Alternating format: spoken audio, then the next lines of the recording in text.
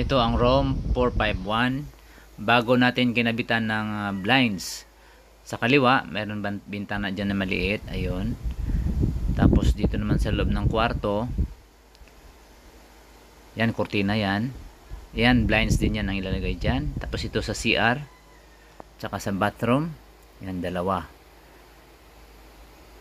Okay, balik ta doon sa kabila naman. 452. Room 452.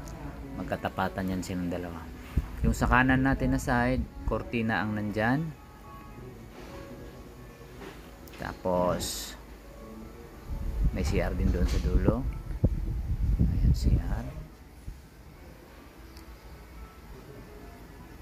Dito naman, pag diniretso yan, ah, yan na yung kwarto. Ito naman closet. Yan yung closet. Yan yung kwarto. Tapos sa right, side, dyan yung ah, kakabitan natin ng blinds. Yan yung pintuan na yan. Ayan. Pakurba. Yan yung kakabitan natin ng blinds.